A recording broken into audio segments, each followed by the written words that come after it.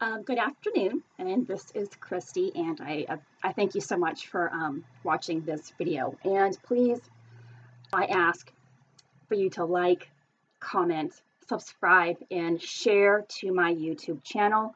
Um, every bit of love that you give to me is love that will become yours as well. Um, and in this video, I want to express to you about something that is very important. When we receive miracles, blessings, upgrades, um, like for myself, I am going to always speak about myself because it is only my journey that I am aware of. So after the 1111, I ended up receiving tons and tons of upgrades. Um, and um, I could actually feel these upgrades taking place within me in forms of high energy. And now I'm experiencing an extreme low yet high energy. It's so hard to describe. It's like having so much energy that you don't know what to do with it. It's coming out in being not being able to express myself properly and um, being very clumsy. So I have that going on for me for the past few days. Um, but also with these miracles, blessings, or upgrades that are being handed to us within our lives, there's a test that has to follow it. And, you know, God has demonstrated to me or has spoken to me about my divine purpose. It is a great purpose. And He is building me to do that. And, you know, my timing for when I know that I am ready for it is completely different from what He knows. And um, He expects you to complete certain tasks, to be able to defeat all the fears that you have ever had within your own heart. And you have to complete those. And so, right after I had all of those upgrades and things like that, I have had two tests that I have had to pass. One was, um, and these are just simple things, but yet a fear is a fear is a fear, and it is paralyzing. A fear can be paralyzing and debilitating. Um, so I don't voice a lot of the things that I want to speak about because of I know that this world or some of my group of people are not quite ready to receive. And there's still a little bit of doubt, a little bit of fear of will I be accepted? And that's something that God is trying to take away from me. The wanting to belong within this world instead of wanting to serve my purpose for Him. And um, I made a post a few days ago and I put a sentence in there that really had no meaning, but I knew it was going to um, have a reaction, um, give a reaction to other people. And that tells me in itself what they are capable of understanding. Um, and um, I passed it because you know how you pass something?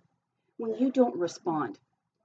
When you don't respond with anger, with fear, with anxiety, with hate, or with judgment.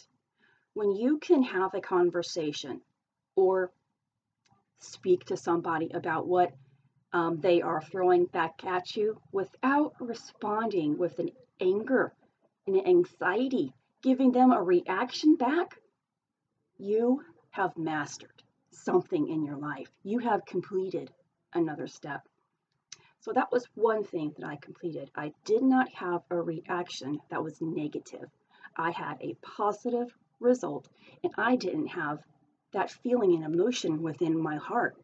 Because every time that we have that negative emotion, when we retain it, it stays and it attracts more of that negativity that we don't want in our life. Um, so it is okay to have a reaction, but you have to eliminate it immediately. The longer that reaction stays in your heart, the, lo- the more chances of, of every single thing that you are attracting will come to you. The things that you don't want will come to you. Um, So then again, yesterday I had another incident, and this is something I, I won't share too much about because it is on a personal, personal level, and maybe one day I might. But um, it's been something that has a stronghold. It has been a very stronghold over my life. This this individual, and um, a stronghold is something that controls you. It could be either the fear, it could be alcohol, it could be something that takes your attention away from God and your purpose.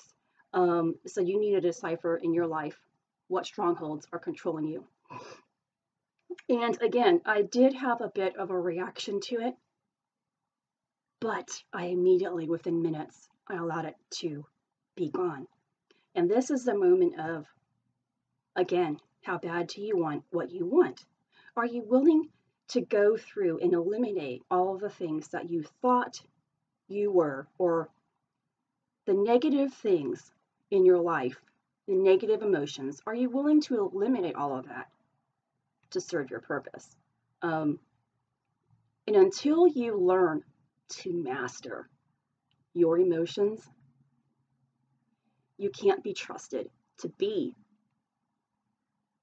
that person who serves your purpose and I hope I am making sense, you have to be able to control your emotions. And when you control that, you've mastered a huge part of life. So, after your miracles and blessings, there will always be a test. You have to be vigilant of that test and you have to pass it. Um, and after you pass it, you will be rewarded. Something else will be given to you. And it's um, I guess it's the same concept of when God says to give of yourself, um, like your, your donation. It has to be true to your heart. So here you are donating your time. Your purpose is a donation of time, of your love. It is the selfless act of who you are given to the world. And it has to be given with pure of heart and pure intent. But if we have so much baggage that we are trying to take with us on this journey, we are not truly giving of ourselves. But yet, when we are doing it and we are eliminating every single thing that doesn't serve us, we will be given more miracles and blessings. And again, I am so sorry that I I am probably not making a lot of sense, and I pray that I am because my thoughts are there. My thoughts are really, they make sense to me, but I know they're not coming out in my words properly today because there's so much, um, I'm receiving so much, and I am truly thankful and blessed to be receiving now.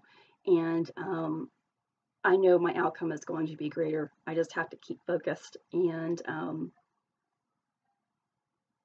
nurture myself and love myself and know that the greatest thing is going to come out of it.